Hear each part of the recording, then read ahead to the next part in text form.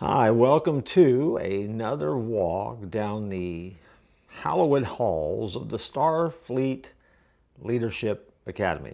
That's where we are going to learn some life lessons from um, Star Trek that have a lot to do with um, who we are as people, uh, how we lead more effectively, and of course, there's some biblical principles wrapped in there as well. So it all works.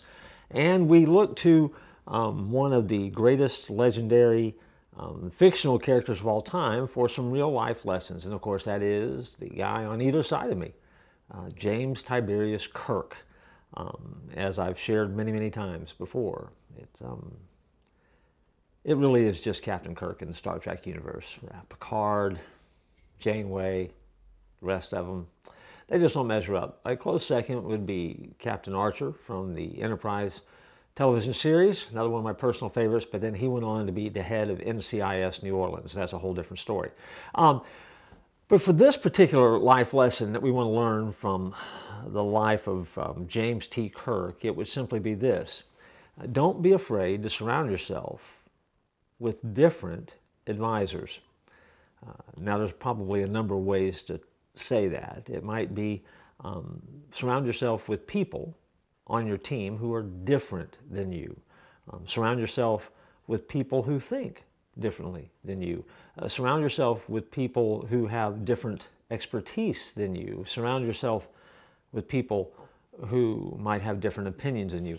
One of the fun quotes that uh, Captain Kirk offers in one of the episodes is simply this One of the advantages of being a captain, Dr. McCoy, is being able to ask for advice without necessarily having to take it. if you go back and you take a look at the lore of Star Trek, you know that um, James T. Kirk had two best friends who both served with him on the Enterprise. One was Commander Spock, who was the first officer, science officer.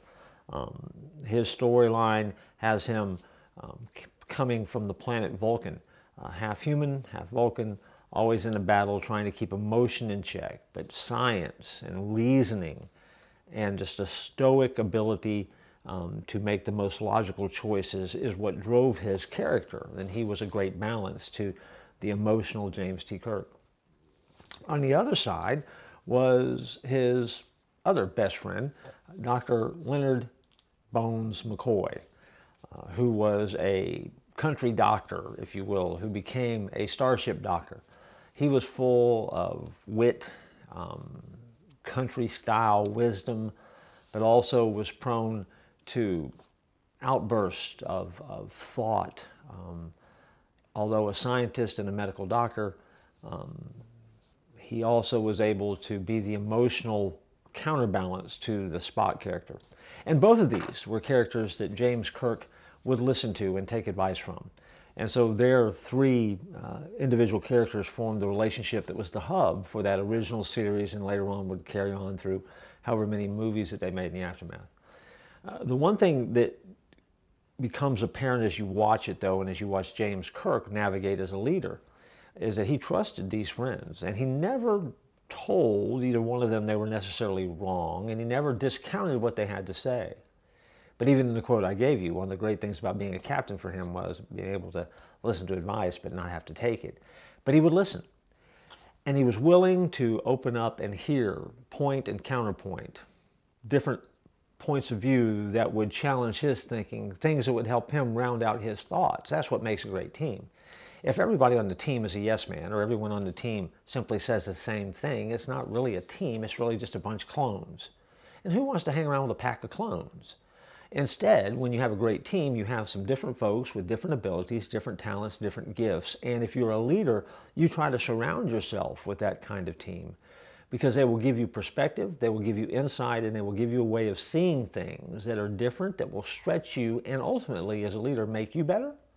And if you lead well, it will make them better.